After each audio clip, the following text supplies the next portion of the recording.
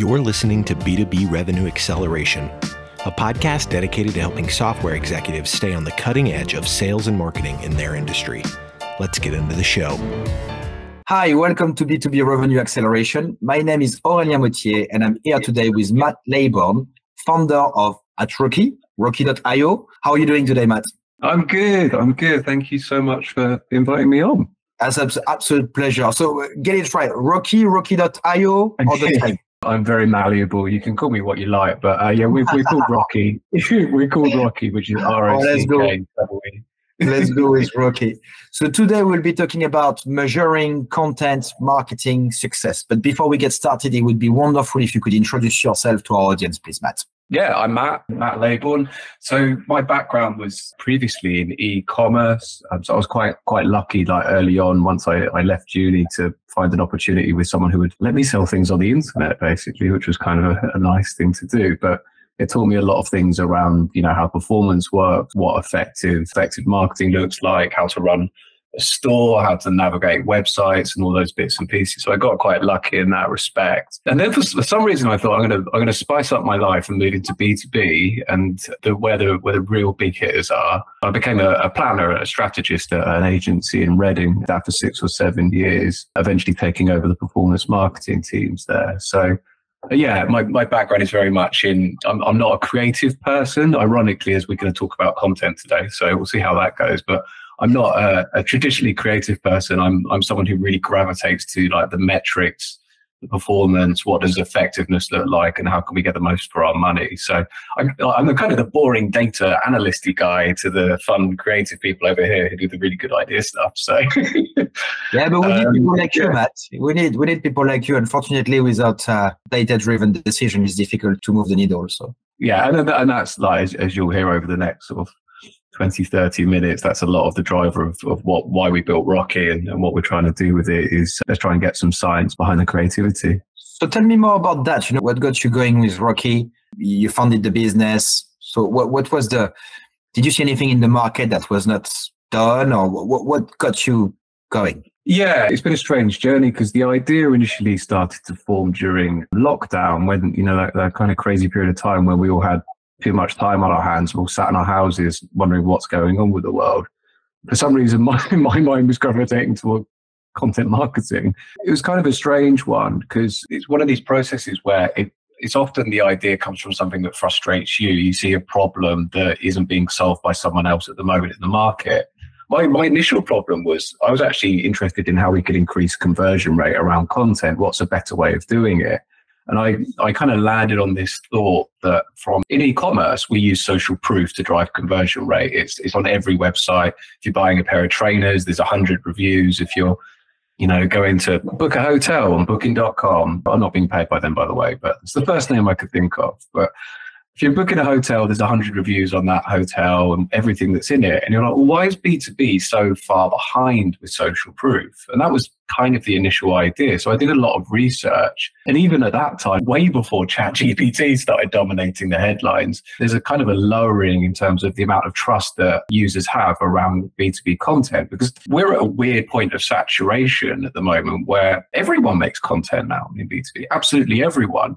There's a lot of bad content being made as well, which is to try and manipulate a search engine, to try and manipulate a download for data purposes. And the people that are really good need to start standing out, need to kind of rise up above the rest of the crowd. So my initial thought was around that. And a lot of research I had was people saying, I don't trust vendor content as much because I know it's biased. I know it's trying to make me buy a thing. It's trying to make me download something that I might not necessarily want. And, you know, there's a whole gated content conversation to have another podcast probably but there was a kind of a big bias there that was was kicking in as well how do we put trust back into content and then i suppose the second part of it is i started speaking to content marketers and I said, well, what is what's good content? What does that look like to you? And the, you know, there's a number of metrics that we're working with, but I started to find every single person was different in terms of how they measure content. You've got some are heavily SEO led. Like I need volume, I need search engine rankings. I need uh, traffic, you know, whatever it may be. And then there's other people who are demand gen teams a lot. I need downloads. Downloads is the measure of success. Even though I don't even know if someone read the content. I know they filled out a form though. That's the measure of success. And you're like, right, this is crazy. And it's like, well, there's something missing here in the middle. Because the funny thing with all of those metrics are they are measures of the proxy of content. They're the measures of the things around content. They're measures of how good we are driving traffic or how good our conversion rate optimization is. None of that is reflective of content. And the, the purpose of content is to influence people, is to inspire people, is to you know get people excited about a, a product, a service, an idea, a better way of doing something. And you're like, well, hang on, we haven't got a measure for that. We don't know how good content actually is. And I suppose to, I don't know, really, like this was a real soapbox moment, Ray. So I apologize. I've probably gone on for 10 minutes already, but this is kind of where it got to that really interesting point is, well, hang on, is, is there a better way of doing this? Is there a better understanding of what good content actually looks like and how we can put it back into our engine? So yeah, that's a really long-winded way of saying that's good. Though. There was two problems that we found, and we're like, okay, how do we go and solve them? What's the what's the answer? So you, you've been coming back a few times to metrics, to what you should be looking at. You mentioned a piece that may be missing in the in the jigsaw in terms of you know, uh, is it download? Is it how many people are actually doing this or that? Whatever, SEOs and stuff like that. So I would say, from a non-marketing perspective, conversion rate, keywords position, page views, how many likes, how many shares, how many downloads would be kind of my view of success. Am I missing anything? Is there anything that you would say, no, actually, you know what, this is okay, these are great. Are they really qualitative? I mean, what's your perspective on all that? Because you mentioned metrics a few times, you mentioned a few yeah. things missing. What am I missing? If I'm missing any?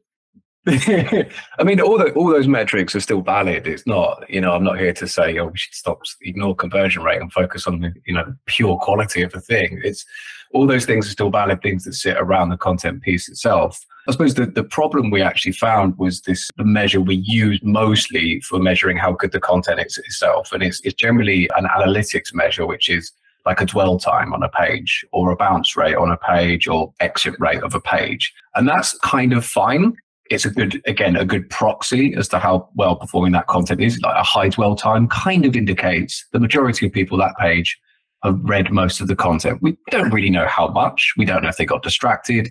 We don't know what stage of the journey they were at. And we don't we don't really know what they thought about the content. So the biggest thing that we learned out of that whole mix was when we spoke to people is i look at that number i'll analyze it i'll share it with all my team and then we'll all guess as to what someone thought of that content. And then we'll try and make content that looks like it.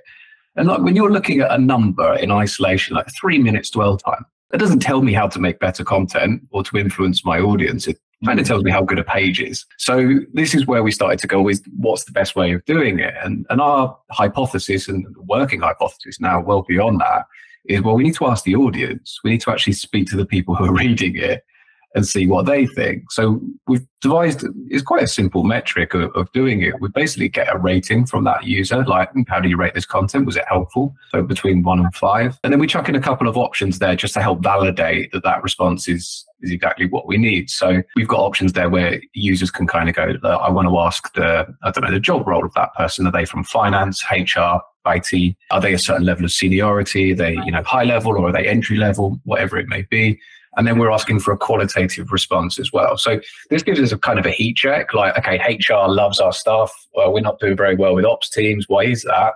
And the qualitative then is giving us a bit of a response as to actually there's a consistent narrative we're seeing. I don't know, ops teams are always asking for more data, more examples, or it might even be a different tone of voice because, you know, we're talking in a very different language to a different type of target persona. So that's kind of where we got to with that. That's how we started working with, with Rockee at the moment to try and validate what is the measure of success. This is this yeah. is what we see as the middle metric, the middle measure that wasn't previously being collected and and it's such a vast universe. You know you could be targeting c level b2b c level contact or you could be targeting b2b technical people. You may have 20 people to target in one account versus one key person to target into one account. Know, you know it's like the brands that you would see in the b2b you know uh, those Rolex would do advertisement and content mm-hmm. versus, I don't know, you know, Casio probably have a very different way to go about things. Similar in some extent, but you know, also different. But you also mentioned something earlier on about gated and ungated content. and I just wanted to come back to that because we just released some resources that I think have taken our team a fair amount of time to put together, like uh, roughly four to six months, I believe. Uh, it's a collective effort, right? And it's an SDR handbook, which has been very successful. We got, I mean, literally thousands of downloads, I believe, on it so far. And it's completely ungated. So we don't know who's downloading it. We don't know if they like it. We don't know, you know, we don't really get a lot of feedback. I, I have had a few feedbacks from people I know who told me I've mm-hmm. read it, I think it was good. But you mentioned the feedback, knowing if your content is actually hitting the spot, which I really like. And we do that sort of things that are ungated at the moment, which I think is also very good because it's good to give to the community. So mm. gated and gated, what, what are your thoughts on that? Topic as well. But what do you think about it? I said, Ray, I could do a podcast on gated versus ungated. But do you know what? It's been a fascinating journey because it, it's only, I think, in the last two years, this kind of anti gated community starting to, to, rise up. And when you start looking through the numbers of it, like I, I actually did some um, consultancy for another brand at the end of last year where we essentially look through their entire pipeline and we figured out they've kind of got two funnels playing side by side. You've got the marketing made funnel, which is where, you know, we, we put our paid media or our, I don't know, content syndication, and we're forcing people to download this asset. And we're, we're kind of saying, well, how, you know, hopefully they go through this journey that we've dictated that they go through where they, they read their three emails, the lead score goes up and we ring them and everyone's happy and they buy the thing. And that's just not how people behave anymore, if I'm honest. It was it was probably very it was effective five to ten years ago. But the way things have changed, I think COVID accelerated that as well. Is some kind of numbers off the top of my head, but like Gartner and Forrester released reports in the last couple of years saying the number of touch points that people go on is now you know 20 30 40 different touch points different channels different options i can get that information from anywhere and more and more of us want to self serve all of our content. We want to go and find our own answers. We mm. don't want it to be told to us by one brand on its own. So that's there's a lot of changes in buyer behavior that are kind of saying the gated piece isn't as valuable anymore. And we've lost a little bit of trust in gated content because of perhaps kind of aggressive marketing and sales tactics around it. So if I go and put my name into any gated thing, I know for a fact, I don't know, give it 10 minutes, I'll have an email, I might have a phone call from someone and they're going, Have you read the ebook? I'm like, No, I haven't read the ebook yet. I'm not ready yet. 70 pages. I don't read five minutes yeah, I'm a reasonably quick reader, but give me a little bit more time. Um, we're, tr- we're treating it as a transactional, like, well, they've, they've said they're interested. We're not, I'm not. I'm, I'm actually just researching at this point. So there's kind of a drop off in conversion rate on those types of assets. And I think as well that well, it's going back to that example of the company I did some work with, I started to figure out that their gated funnel converted at something like three or four percent into opportunities at the very bottom of the funnel. The ungated funnel, people who are just coming onto the website and reading, you know, the blogs, infographics, the ungated assets, they're converting at 16, 70% to opportunity once they, they kind of go through a book a demo form. You're talking the same volumes of people, but one of them are more likely to work with you than the other by a huge, you know, statistically huge difference in the two. And it just says, well, we've got we've got to change our behaviour now. Like just trying to force people to give away their information, it's just not as effective as it used to be. We've got to trust that we are the thought leaders and we are the experts. And I, I know the handbook that you guys released, and it's like, well, this positions us as the authority in the marketplace. We've got to go and trust that content and get it out there. And there's different mechanisms we can how we to measure that. But we're in an evolving marketplace. Well, what does what does good measurement of that type of asset look like? And there's still things there to be determined. I think I don't think no one's cracked it yet, for example. But I think it's a case of actually trusting that we've got some good stuff. And instead of having an audience of you know 15 people who downloaded it, I could have an audience of a thousand. And I'm hoping if that content's as good as it is, a thousand people are going to enjoy it rather than just those 15. So yeah, yeah. it's funny one. uh, you know, coming back to the metrics, you mentioned like probably having a rating the content one to five. I mean, from my perspective, inbound is critical. We've got to create good content. We need to make sure the content makes sense, reaching the right audience. So, you know, to really get the conversion. So do you have any practical example of how you measure those metrics? So you already gave a couple, but if we were to to bring it back to tactical things that you do to make sure that the content is delivered to the right people, the content makes sense for those people. You kind of know what to invest in moving forward mm. in creating content. So practical example would be super useful of, of how you do it because it's actually, it does make sense, but it's, you've got the spray and pray approach from lots of vendors. You've got the usual, let's speak to Gartner and give them a bit of money so we can get a report with them and stuff like that.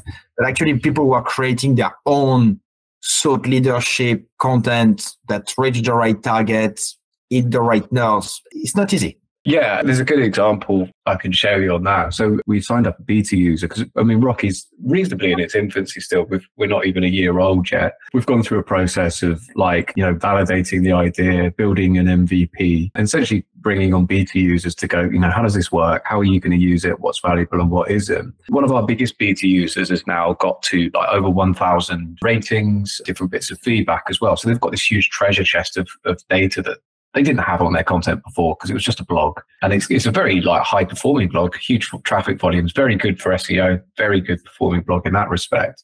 But they've never really understood the why behind that. It's okay, this is useful. What do we do now with it? So we were able to sit down with them in the last couple of weeks and go, well, actually, there's trends emerging in just the ratings alone. And this is something you can start to use to optimize your content. So a really good example was your content really resonates at mid market level, mid in terms of seniority. So, managers, heads of department, people who are kind of experts in, in that specialist field, they're always ranking your content really well. They're giving it four or five out of five on a regular basis.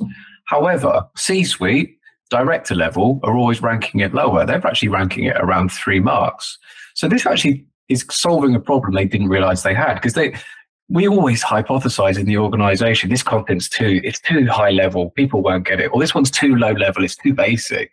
They've actually got a measure now to go do you know what? It was too low level we're, we're actually not we're not being you know as smart as we could be with our audience. We could be putting more technical stuff we could be raising it up a notch for example. So it's given them a steer to go back to their creative team. And not only that they've got qualitative responses as well where people have said this was great but you need to give me more examples. I want more sources of why you've made that statement. And it's now going into their creative team to go, well, actually, let's try and rewrite some of this to make it work better. So the, the theory is there, at least I can optimize against better metrics like an engagement rate and engagement time with our target customer audience. So yeah, that's one level of influence.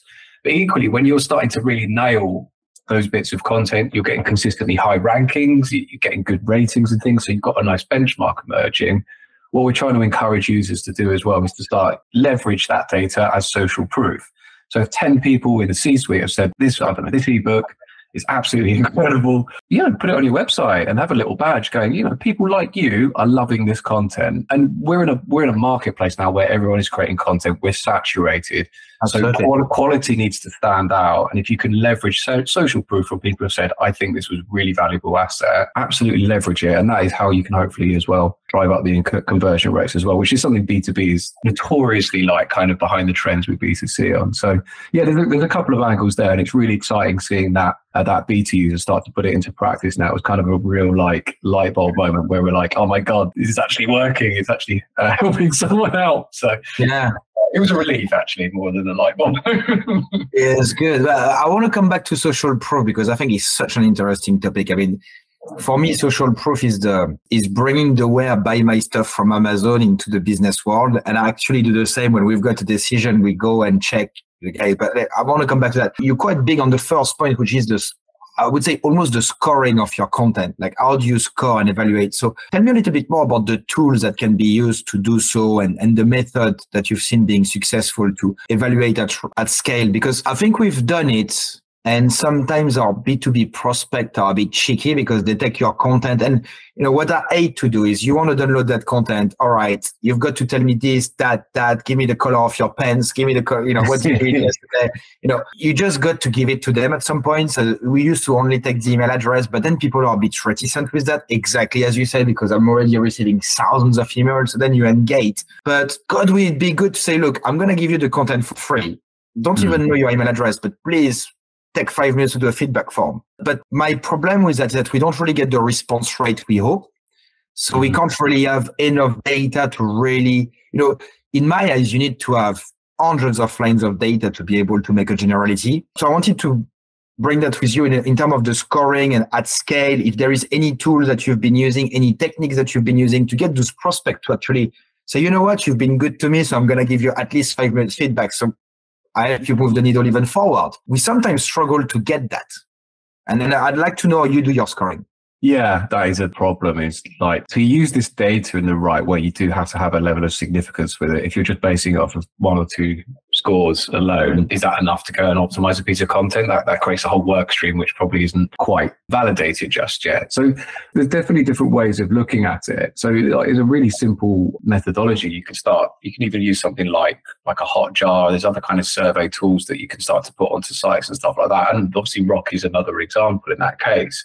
But regard, regardless of what the tool is, at this point, it's got to be a re- really clear hypothesis as to what you're trying to achieve with that information and what is the minimum number of steps that you can go and get that information within. So, with the, there's probably a million and one articles out there about the you know the psychology of how long a form field thing is on a gated asset or on a contact form and you take away another two fields and your conversion rate goes up 20, 30%. And there's a lot of truth in it. And it, sometimes it's really silly things there. You look at those forms and you go, do you really need to know, for example, like the location of where that business is? Or could you not just Google it yourself or ask them when you get on an onboarding call? Like, why are you risking annoying someone to get pieces of information which you can just go and find out yourself yeah. or validate with an introduction call?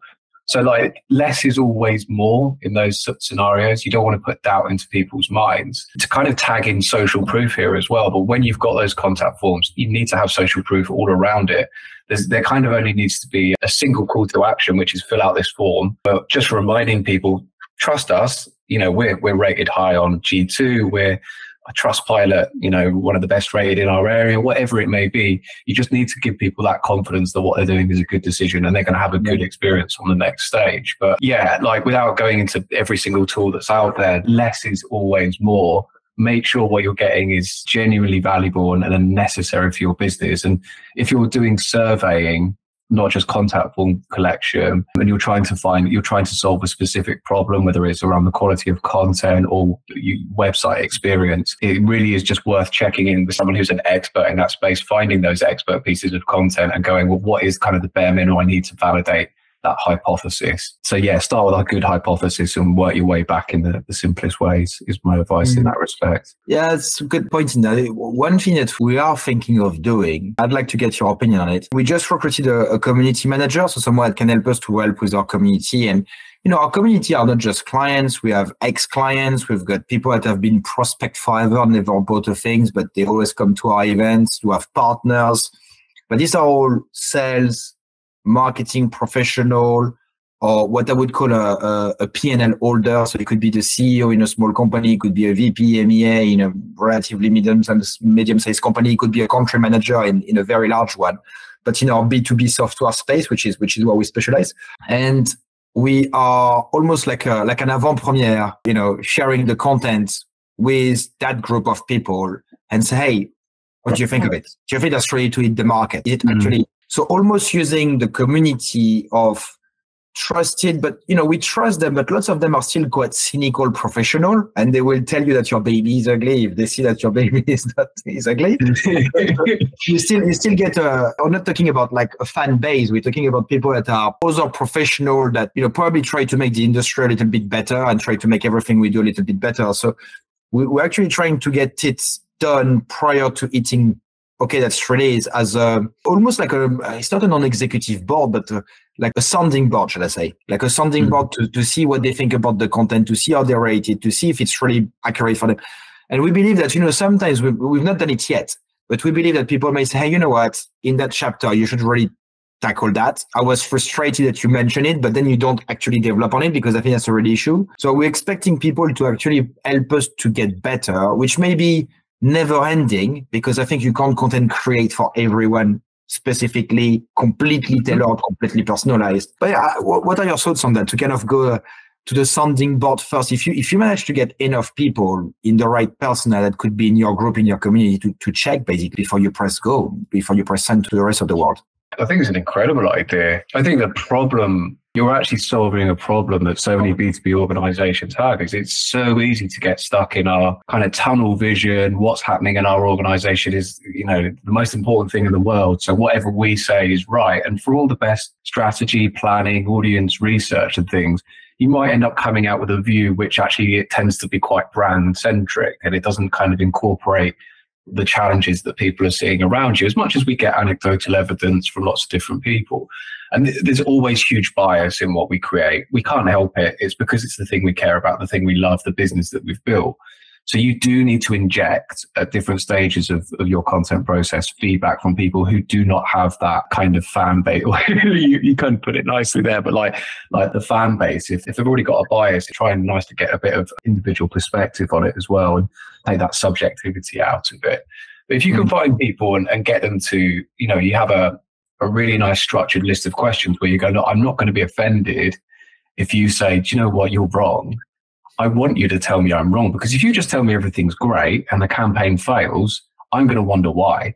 Yeah. I need, you, I need you to tell me why it's wrong or something's missing because that's the only way I get better. It's the same with so many different areas. But yeah, if you can find some good people who are happy to, to give you that honest answer, that's a huge weapon in your arsenal at the beginning of a process. Really good feedback. Is this the right message? Is it going to the right audience? Is this having the right impact? That's incredible. But equally, backing that up as well at the end of the process from the, you know, once you've launched it, keep getting that feedback because that is all ammunition to optimize, to adapt the next piece of content. It might even inspire the next campaign as well because you've got your finger on the pulse. You you know what people are looking for in the market. So yeah, community manager is incredible for that, and they can pick up a lot from social too without um, going on a whole social thing there. But there's a lot of opportunity there to get feedback.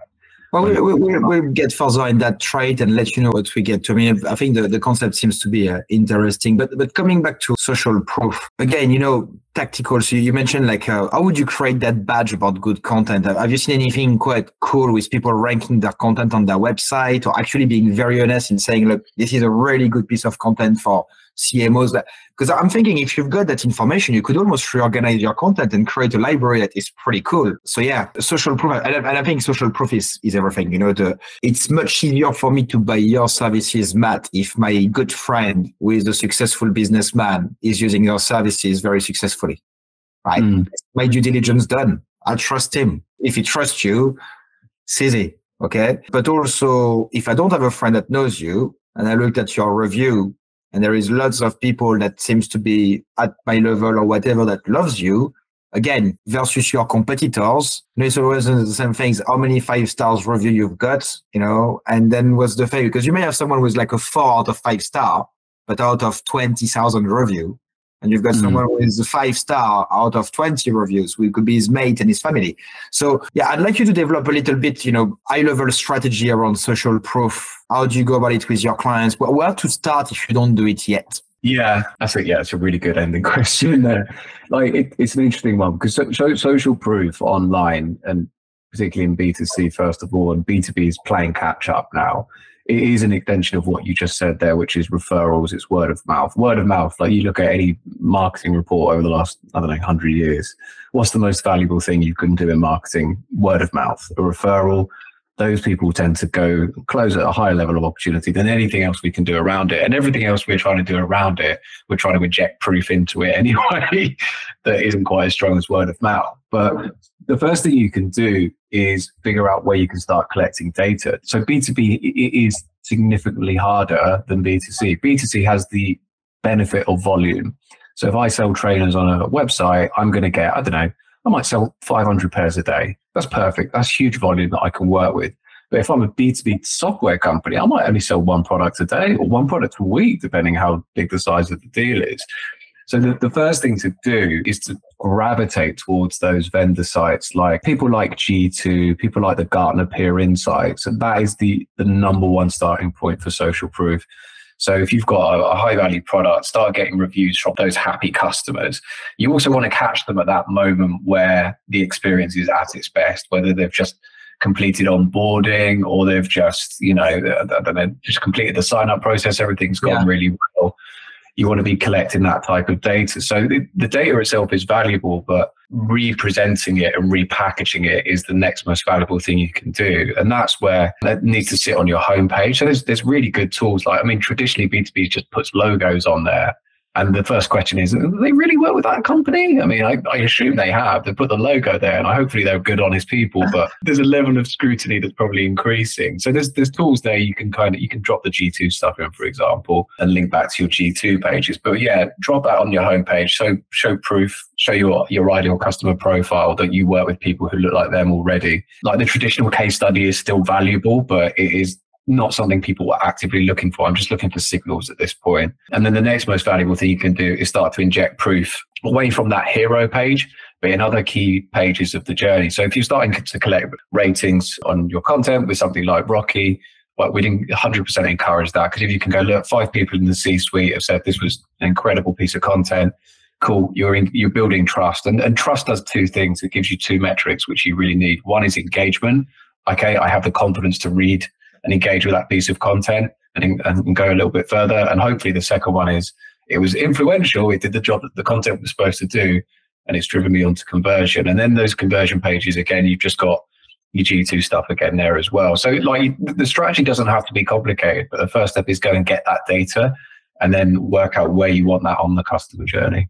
Yeah. Last question for me, probably a tough one. Is there any medium that you think is the best for B2B buyers? We've heard about obviously the classic content of writing an article, writing a blog post, writing an ebook. There is what we are doing right now, which I would say is more like the audio, but probably also use it on video, YouTube and stuff like that. But it's kind of the longer type of content and it's probably more like a slow burner. Mm. You just mentioned like the, the, the case studies that can be done via videos, actually having your customers speaking. And it's interesting because sometimes you go to website, the first thing you see is like customers speaking about us. You know, it's like, oh, we work so hard to get that, that you, we want you to see it. And I'm sure they're all different from part of the buying journey. As you're saying, some people want sig- signal. I got my signals. I'm down to three vendors. Now I need social proof and whoever's got the most lovers I will go for whatever. So I'm, I'm sure it's a very complex question for you to answer, but do you see any of those medium use a different part of the process actually driving more results? Would video drive more results than text, for example? Or is it just like a story that we are being told by people who sell videos? There's always a vendor who says their medium and platform is the better than everyone else's. Yeah.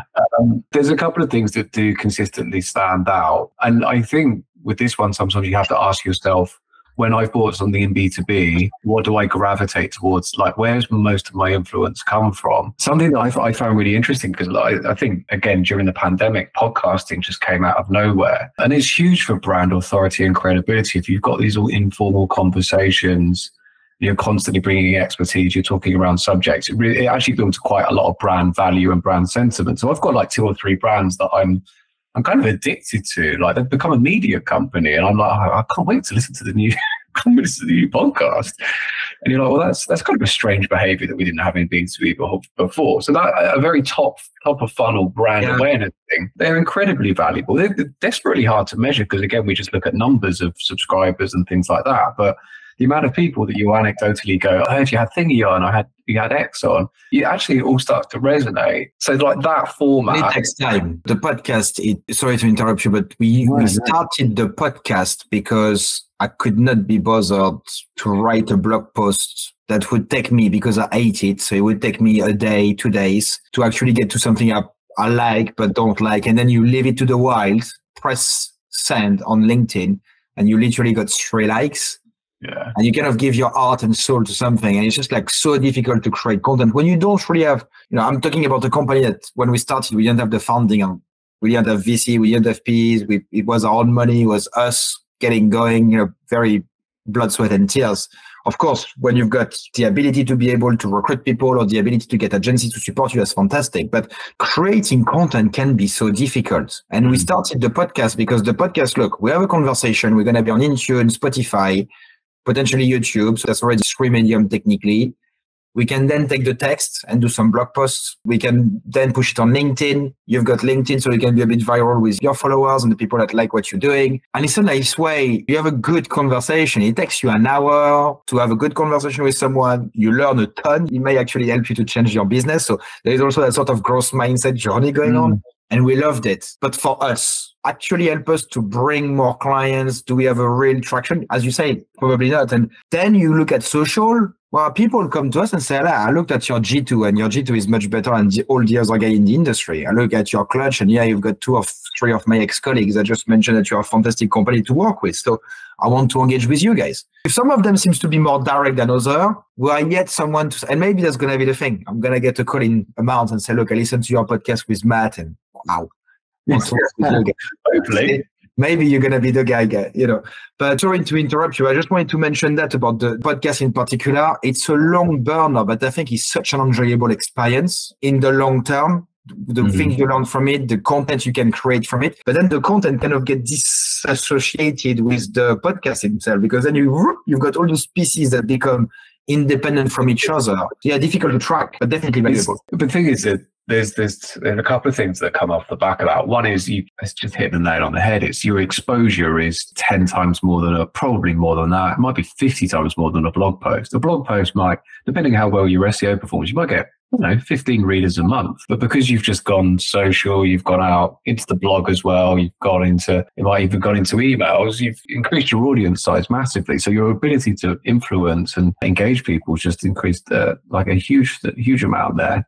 And then the other thing as well with it as well is a lot of people are experimenting with um, like self-reported attribution on their websites. So more and more people have gone back to open text fields of how did you hear about this? And that tends to get the, um, oh, actually, I've listened to your podcast for six months. And you're like, oh, I wouldn't have known that because at the moment, most websites just track last touch. And it's like, well, we just said you came from Google. It's like, well, Google yeah. just, that Google just the thing I clicked on to get here. But I've listened to you for six months and you're like, oh, it is working. It is having an influence. So I suppose back to the, the question, yeah, podcasting like is, is a great way of just distributing things into lots of different things. And the next thing I was going to say on that is is video is still hugely impactful, particularly in B two B, where people just go, I just want to see yeah. what the thing is you do, particularly software. Just show me what the software is. Do a nice video. I don't need the marketing flashy, like I don't know, all, all this kind of spiel. I don't need yeah. the we're the innovators in global digital transformation. Come on, show me the platform. Yeah, because the shit. Tell me what makes you special, and uh, yeah. let's see uh, what's the value for me. What's in it for me? Uh, that's what we call the what's in it for me content. And trying to do videos of the what's in it for me can be difficult, but you have to do bite size. We've got some plans to invest on that, but we've got some of our clients that do it, are doing it very, very well. And you've got new platform as well. I mean, do you, do you see B2B companies using TikTok properly, for example, you know, or Instagram properly or Facebook for business? I mean, who use Facebook anymore anyway? But Instagram and TikTok is probably where probably a very vast percentage of the world population spending their a lot of time on. But I don't see a lot of B2B brand actually using, you know, being present. And you mm-hmm. could, you know, TikTok is so many people when, when I don't know TikTok, but I ask the people around me who have TikTok, I say, well, what do you do? Do you dance or because you see, for me, as people dancing, I don't have TikTok on my phone. And when they tell me, say, no, I don't post really any content but I follow people. And if I want to paint a wall and I want to paint it pink, I can do a search and see what to do to prepare mm-hmm. my wall. And there is lots of tutorials. So it's kind of becoming almost like a YouTube. I would go to YouTube for that. And I think it could be good for brands to say, look, this is how you do it, right? It's just giving almost training people to show them what's the right thing to do when there is no other real platform in the world to know how those things are being done. You know, you and I were talking about tattoos just before the thing today. I spoke to a tattoo artist yesterday and he told me, look, you know, when I started tattooing, like literally to learn to know it 10 years ago, you had to find a guy that will let you come to his shop, take you under his wing and trust you enough to put some ink on one of his clients. And that's tough. Now you've got spec skin that they can train on, like porous latex. Mm. There is TikTok videos that say, oh, if you want to do shading, this is how you do shading. If you want to do the Japanese style, this is how you do that. Fine line, this is how you choose your needle, and this is how you prepare your stuff. So look, the content is immense, and actually, it's much easier to get to know it. But I think it should be the same in sales and marketing. I think it should be the same in software. And, and I, I, I think it's underused, but I don't know what would be your thoughts on that. And, and maybe because the audience is not on it, I don't know. It's a really interesting one because there was a big push at the end of last year where there was a couple of like big B2B brands who really went for it on TikTok. And I haven't heard much from them since, so I don't quite know how well it went, but they were kind of talking about the benefits of it. I mean, you can get, for example, you can get a really good exposure on TikTok a lot quicker as well. There's there's definitely opportunity to reach more people. Whether it's the right people is you could argue is a different question. But the, the other interesting thing you like touched on there is is like the freedom of like knowledge and expertise now. And It used to be such a thing that we'd hide. Trust us, contact us, and we'll tell you how good we are. But we're not going to tell you in advance. Like this kind of like, oh, we're, we're not going to give away all our secrets to you. But I think again, I think the strongest people will actually go. Well, this is why we're so good. Come yeah. and work with us. We'll do it for you. Because the reality is, most people aren't going to go. I'm going to go and completely set up a whole company based on the YouTube tutorials of this company.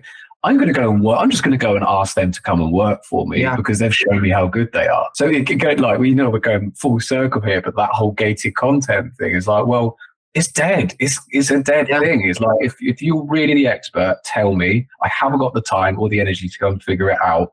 Going through lots of marketing bump, filling out forms.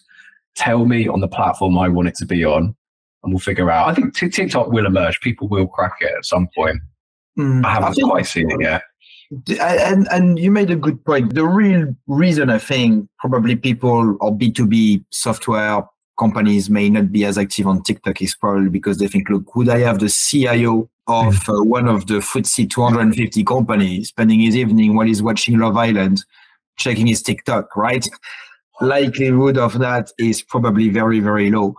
However, what I think is great with Reels and TikTok is the ability to edit videos and do short contents that can potentially be reused on LinkedIn, that can potentially be reused in other way when you engage with people, because you didn't really have the ability to edit stuff too easily, you know, before that. And I think that that's what kind of intrigued me because, and also we need to think about the next generation of buyers. You know, we don't want to get stuck with what we are doing and just thinking, oh, yeah, you know what? My dad used to do that and he was working. His dad used to do it and he was working. And, you know, so, so let's carry on. So I, th- I think we've got to also evolve, but it seems like the small, bite size, ungated, useful content that gives me information that actually help me to make my decision a little bit better or help me to reframe and challenge what I was thinking about a potential solution could be a nice way to actually create the light bulb moment that you mentioned at the beginning of the podcast. So something to discuss and maybe, you know, let, us get together in a, in a few years when we both have a million TikTok followers and see what happens next. But um, thank you so much for your insight, Matt, today.